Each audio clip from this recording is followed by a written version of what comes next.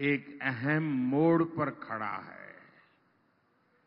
आपको ये तय करना है कि भारत में वोट जिहाद चलेगा या राम राज्य चलेगा। साथियों,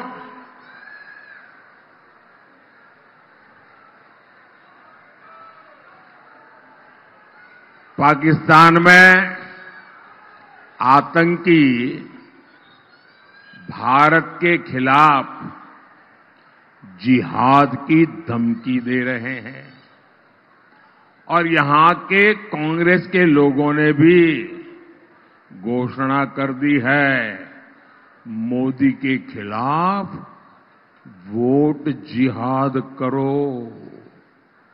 यानी मोदी के खिलाफ एक खास धर्म के लोगों को एकजुट होकर वोट करने को कहा जा रहा है।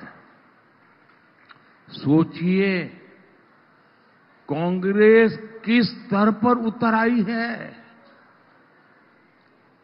हताशा, निराशा ने कांग्रेस को कहाँ ले जाकर के पटका है? आपको एक सवाल मैं पूछता हूँ, जवाब देंगे? ज़रूर देंगे। आवाज़ इधर से आती है, उधर से नहीं आती है। ये मीडिया वालों को छोड़कर के सारे लोगों ने आवाज़ देनी चाहिए। इनको परेशान नहीं करना चाहिए। आप मुझे बताइए, क्या वोट जिहाद आपको मंजूर है? क्या लोकतंत्र में ये बात चल सकती है? क्या भारत का संविधान ऐसी जिहाद के लिए अनुमति देता है? साथियों, कांग्रेस के इरादे कितने भयानक है। जी, उनकी साजिशें कितनी खतरनाक है।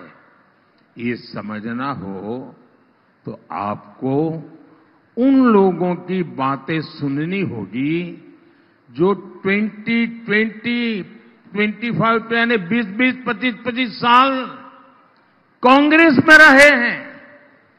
20 20 25 25 साल जो कांग्रेस के कार्यकर्ता रहे हैं, नेता रहे हैं।